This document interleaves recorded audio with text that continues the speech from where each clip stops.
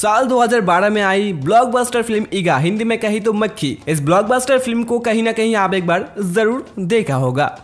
इस फ़िल्म में सुपरस्टार सुदीप, नैनी और अभिनेत्री समंता और बाकी कलाकारों ने अपने किरदारों को काफ़ी अच्छे से पर्दों पर पेश किया था, जिसे दर्शकों ने खूब पसंद भी किया, जिस वजह से फैंस इस फ़िल्म की सेकंड पार्ट की डिमांड कर रहे थे। लेकिन दोस्तों, मक्की फ़िल्म की निर्देशक और हम सभी के चहीते एस एस राजामौली ने अब इस फ़िल्म की सेकंड पार्ट को बनाने का मन बना लिया है। मीडिया रिपोर्ट्स के अनुसार, अगले मक्की फ़िल्म की सेकंड पार्ट में मेगा पावर स्टार रामचरण एक अहम किरदारों में नज़र आ सकता है। साथ साथ मेन विलेन के रूप में बॉलीवुड के बिग स्टार इस फ़िल्म का हिस्सा होने वाला है। एस एस राजामौली के डायरेक्शन में बनने वाली फ़िल्म मक्खी, जिसको दर्शकों ने खूब पसंद किया और इस फ़िल्म का सेकंड पार्ट की डिमांड फैंस कर रहे थे। और इसी डिमांड को देखते हुए इंडिया के visionary director S S Rajamouli अब पूरे 10 साल के बाद इस फ़िल्म के सेकंड पार्ट को लेकर दर्शकों का मनोरंजन करने आ रहे हैं। बात किया जाए फ़िल्म की कहानी को लेकर तो आपको बता दे फ़र्स्ट पार्ट की तुलना में सेकंड पार्ट में काफ़ी ज़्यादा अलग स्टोरी के साथ दर्शकों के सामने पेश किया जाएगा।